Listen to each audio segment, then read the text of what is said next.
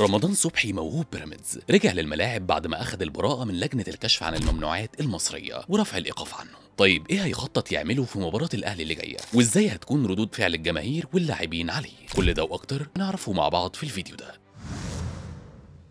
خبر سعيد بالتأكيد لكل جماهير بيراميدز. رمضان صبحي أخذ البراءة من لجنة الكشف عن الممنوعات المصرية ورفعوا الإيقاف عنه. ده يعني إنه هيقدر يشارك في المباريات اللي جاية بشكل طبيعي جدا وفي مباراة مهمة جدا مع النادي الأهلي هقول لكم المتوقع عنها دلوقتي. بس قبل منها نعرف إيه اللي حصل مع رمضان صبحي بالظبط. وفقا لموقع اليوم السابع الإخباري كشف مصدر مقرب من رمضان صبحي إن لجنة الكشف عن الممنوعات المصرية استقرت على رفع عقوبة الإيقاف المؤقت عن اللاعب علشان يصبح من حقه المشاركة مع فريقه في الفترة المقبلة. وده لحين صدور القرار النهائي من اللجنة. نفس المصدر أكد ليهم برضو إنه تقرر رفع الإيقاف الإجباري عن رمضان صبحي وإن اللاعب يقدر يشارك مع بيراميدز بداية من بكرة. ومن المتوقع أن تصدر منظمة مكافحة الممنوعات بيان رسمي خلال الساعات القادمة بتوضح فيه الحكاية كلها على بعضها. ودي برضو ليها تفصيلة مهمة جدا هقول لكم عليها خلال باقي الفيديو. وخدوا بالكم إنها مهمة جدا وفيها إن رمضان ممكن يتعرض للإيقاف من تاني لا قدر الله وممكن يبطل لعب كورة خالص أصلا. دلوقتي نشوف أول مباراة جاية لنادي بيراميدز وهي مباراة النادي الأهلي وتقريبا دي هتكون أهم مباراة في الموسم في الكرة المصرية لأن فيها متوقع نشوف مواجهة رمضان صبحي للنادي الأهلي. رمضان اللي رجع من الإيقاف أكيد هيبقى راجع وناويها. ناوي يبين نفسه ويرجع يعرف الكل مين هو رمضان صبحي اللاعب اللي اتوصف في مرحلة ما من حياته إن أحرف لاعب في مصر والكرة بتحبه.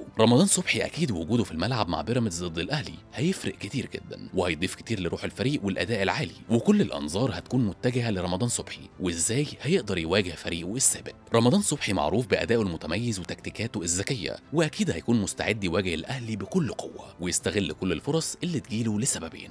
أول سبب علشان نفسه وقيمته قدام كل الجماهير وقبل منهم اللاعبين. وتاني سبب لتحقيق الفوز لفريقه. رمضان صبحي هيحاول يثبت للجميع إنه لسه في أفضل حالاته وقادر على تقديم أداء مميز. رمضان كان اتقال الفترة اللي فاتت إنه خلاص هيوقف كورة خالص واتقال إنه أصلا هيتوقف أربع سنين. وناس حكت إنه ثبت عليه الممنوعات لكن الحمد لله ربنا كرمه والحق رجع لأصحابه. وبانت خلاص إنه نضيف وملهوش في أي حاجة. وده تم بعد ما خضع رمضان صبحي لجلستين استماع خلال الفترة اللي فاتت. واللي بيحصل في جلسات الاستماع دي بيتنقل للمنظمة المصرية لمكافحة الممنوعات والمعروفة باسم الناتو وهنا هيكون في قرار. القرار ده بدوره هيتنقل للمنظمة الدولية لمكافحة الممنوعات الوادا وبعد ما خلاص بقى أصبح رمضان بريء بحكم اللجنة المصرية هيكون برضه من حقها إنها تعمل استئناف على الحكم ده لو اتضح إن فيه جديد.